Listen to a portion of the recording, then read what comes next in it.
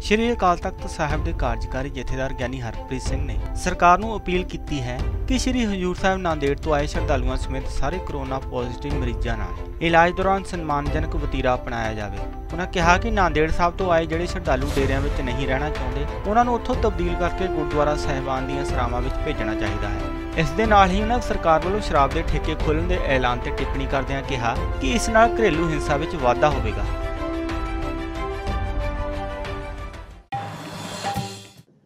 ਅਤੇ ਅਸੀਂ ਸਰਕਾਰ ਨੂੰ ਇਹੋ ਕਹਿਣਾ ਚਾਹੁੰਦੇ ਹਾਂ ਕਿ ਇਹ ਗੁਨਾਹੀ ਨਹੀਂ ਹੈ, ਇਹਨਾਂ ਨੇ ਕੋਈ ਗੁਨਾਹ ਨਹੀਂ ਕੀਤਾ, ਇਹ ਪੀੜਤ ਹੈ।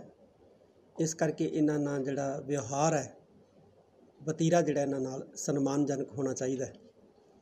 ਕਿਸੇ ਵੀ ਕਿਸਮ ਦੀਆਂ ਅਪੱਧਰ ਟਿੱਪਣੀਆਂ ਜਿਹੜੀਆਂ ਨੇ, ਇਹਨਾਂ ਦੇ ਖਿਲਾਫ ਨਹੀਂ ਹੋਣੀਆਂ ਚਾਹੀਦੀਆਂ ਤੇ ਜਿਹੜੇ ਅਪੱਧਰ ਟਿੱਪਣੀਆਂ ਕਰਦੇ ਨੇ, ਉਹਨਾਂ ਦੇ ਖਿਲਾਫ ਸਖਤ ਕਾਰਵਾਈ ਜਿਹੜੀ ਆ, ਉਹ ਹੋਣੀ ਚਾਹੀਦੀ ਹੈ।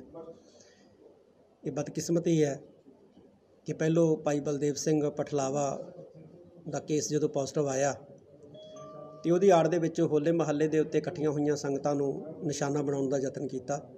ਪੰਡੀ ਪ੍ਰਚਾਰ ਬਹੁਤ ਕੀਤਾ ਗਿਆ ਸੋਸ਼ਲ ਮੀਡੀਆ ਦੇ ਉੱਤੇ ਖਾਸ ਤੌਰ ਤੇ। ਫਿਰ ਪ੍ਰਵਾਸੀ ਸਾਡੇ ਜਿਹੜੇ ਭਾਰਤੀ ਸੀ, ਪੰਜਾਬੀ ਸੀ, ਉਹਨਾਂ ਨੂੰ ਜਿਹੜਾ ਹੈ ਨਿਸ਼ਾਨਾ ਬਣਾਉਣ ਦਾ ਯਤਨ ਕੀਤਾ। ਉਥੋਂ ਵੀ ਅਕਾਲ ਪੁਰਖ ਪਰਮਾਤਮਾ ਨੇ ਕਿਰਪਾ ਕੀਤੀ।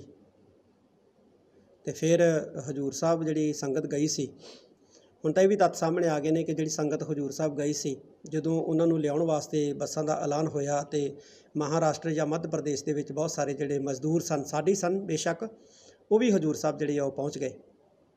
ਕਿ ਚਲੋ ਬੱਸਾਂ ਹਜੂਰ ਸਾਹਿਬ ਤੋਂ ਜਾ ਰਹੀਆਂ ਨੇ ਪੰਜਾਬ, ਤੇ ਅਸੀਂ ਹਜੂਰ ਸਾਹਿਬ ਹੀ ਜਿਹੜਾ ਪਹੁੰਚ ਜਾਂਦੇ ਆ ਤੇ ਉੱਥੋਂ ਬੱਸਾਂ ਰਾਹੀਂ ਅਸੀਂ ਪੰਜਾਬ ਆਪਣੇ ਆਪਣੇ ਘਰ ਚਲਾ ਜਾਾਂਗੇ ਉਹਨਾਂ ਨੇ ਵਿਚਾਰਿਆਂ ਨੇ ਗੁਰੂ ਘਰ ਦਾ ਆਸਰਾ ਤੱਕਿਆ, ਕੋਈ ਮਾੜੀ ਗੱਲ ਨਹੀਂ ਸੀ।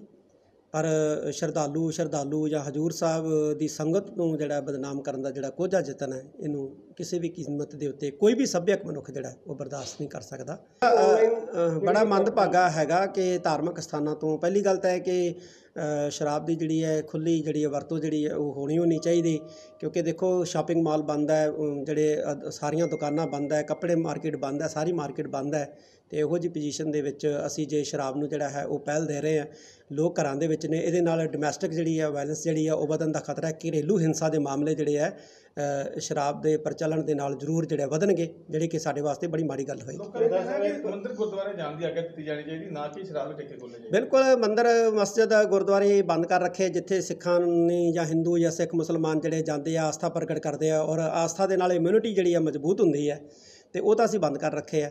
ਤੇ ਸ਼ਰਾਬ ਜਿਹੜੀ ਹੈ ਜਿਹਨੇ ਸਾਡੇ ਘਰੇਲੂ ਹਿੰਸਾ ਦੇ ਮਾਮਲਿਆਂ ਦੇ ਵਿੱਚ ਬਹੁਤ ਵਾਧਾ ਕਰਨਾ ਹੈ ਕਿਉਂਕਿ ਸਾਰੇ ਬੰਦੇ ਘਰਾਂ ਦੇ ਵਿੱਚ ਆ, ਸ਼ਰਾਬ ਪੀਣਗੇ ਜ਼ਰੂਰੀ ਸੰਭਾਵਨਾ ਹੈ ਕਿ ਘਰੇਲੂ ਹਿੰਸਾ ਵਧੇਗੀ, ਤਾਂ ਸਰਕਾਰ ਨੂੰ ਸੋਚਣਾ ਚਾਹੀਦਾ